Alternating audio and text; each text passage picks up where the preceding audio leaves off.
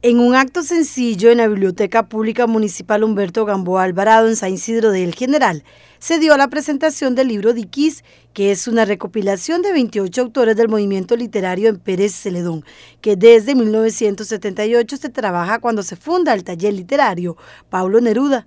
La compilación la hizo el escritor Alberto Fonseca Ureña de la Asociación de Escritores y Editores del Cantón. El libro Diquis es una recopilación de 28 autores que estuvieron al inicio del movimiento literario desde 1978 cuando se fundó el taller literario que se llamó en ese entonces el taller literario Pablo Neruda y eh, recoge digamos la historia de ese movimiento literario. Hay un artículo muy interesante de José Luis Díaz Naranjo eh, que pueden eh, leer para, digamos, para los estudiantes que están investigando. Este libro muy interesante porque les va a dar eh, alguna información, mucha información acerca de, ese, de la historia del movimiento literario generaleño. Este libro contiene varios artículos y poesías en 100 páginas. El libro, eh, bueno, tiene, mm, es un, ensayo, digamos, de, de, José Luis Díaz, que es un artículo, un ensayito pequeñito, y em, una reseña histórica, de, poética, de, todo, de 28 autores. ¿Cuántas páginas, don Alberto? Tiene 100 páginas más aproximadamente. Sí. ¿Cuántos ejemplares sacó?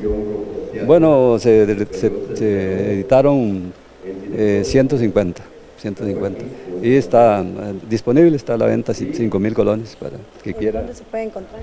Puede adquirirlo aquí en la biblioteca y en la oficina de la Asociación de Escritores tiene un valor de 5 mil colones cada uno y lo pueden comprar en la oficina de la asociación ubicada en el complejo cultural. Bueno, eh, nos sentimos, digamos, eh, en deuda, nos sentimos en deuda porque no existe, digamos, esa referencia. Entonces, esa es, esa es la causa, digamos, dejar una muestra histórica.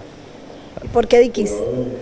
Bueno, eh, se llamó así porque en honor al Valle Diquis, el Valle del sur y em, el, ideal, el que dio digamos, el nombre fue em, eh, poeta, eh, un escritor, que, un historiador, eh, Barrantes, el que nos dio la idea de nombrar a eso, a este libro de Alberto Fonseca ha escrito seis libros.